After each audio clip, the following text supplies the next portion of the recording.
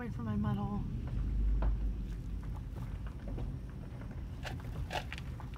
You're just making quite a mess.